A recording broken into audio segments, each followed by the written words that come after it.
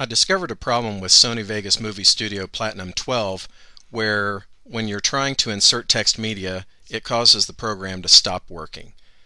But after working for, with it for a number of hours I've found a workaround. I haven't used it that long yet but um, I wanted to get the message out there to folks so I'll show you that now.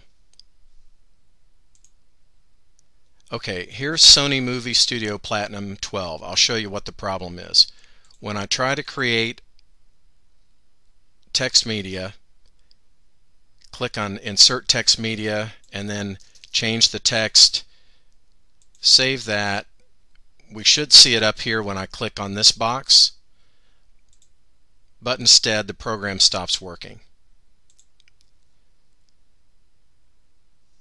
Also, I wanted to let you know that this is 64-bit and my computer has 14 gig of memory and an i7 processor, so the hardware should be covered on, on this machine.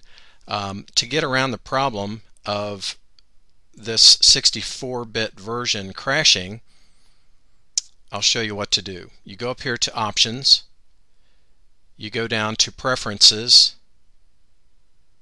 you go over to Video, and in my case it's GPU acceleration of video processing and it's a AMD chip apparently in my graphics card.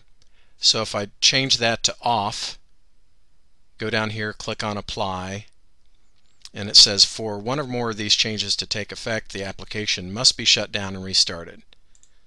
So we'll click on OK and we'll shut down and restart Sony Vegas Movie Studio 12 64-bit. Okay, now that we've restarted Movie Studio Platinum 12 64-bit, we go down here to Preferences just to verify that our changes took effect. Okay, GPU acceleration is off. And so now we go to Text, Insert Text Media,